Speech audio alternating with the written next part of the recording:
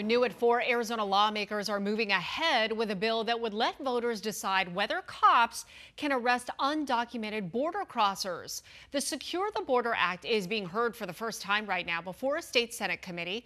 It could go to a statewide vote in November. 12 News journalist Bram Resnick, he was at the Capitol today. And Bram, why are opponents calling this bill the second coming of SB 1070? El Tram, you'll remember SB 1070 was an attempt by Republican lawmakers to seize control of federal authority over immigration law.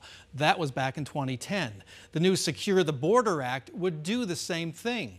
Opponents and supporters of the ballot measure held dueling news conferences today. Republican lawmakers who drafted the measure say it gives Arizona voters the power to decide how the border should be policed. Opponents warn the measure revives the specter of SB 1070, Arizona's so-called Show Me Your Papers law that was struck down 12 years ago by the U.S. Supreme Court. This is truly a border security bill. It is focused on, as the sheriff mentioned, evidence at the border. Somebody said, oh, well, does that mean somebody, a police officer in Gilbert, is going to ask you for your papers? No, that's not what that means. It's an unfunded, unfunded uh, uh, proposal that the police departments will have to deal with in a situation where they're already short on money. Yavapai County Sheriff David Rhodes confirmed the measure does not cover law enforcement's costs of arresting and housing undocumented immigrants who are arrested. Rhodes and Republican lawmakers said that's yet to be determined. All right, so let's get into the backstory of this, Bram. We've been talking about immigration reform for years. So what's the latest push? Well, behind this for Republicans are two things. The ballot measure is a response to last week's repeal of the 1864 ban on abortion.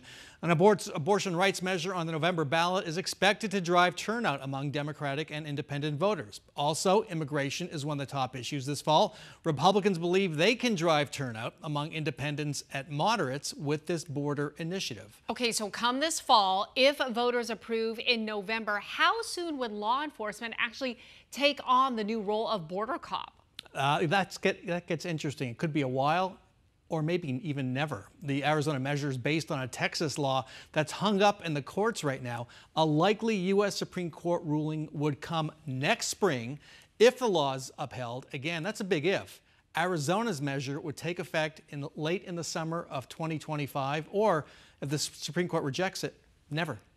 Okay. All right, Bram. Thank you so much. Sure.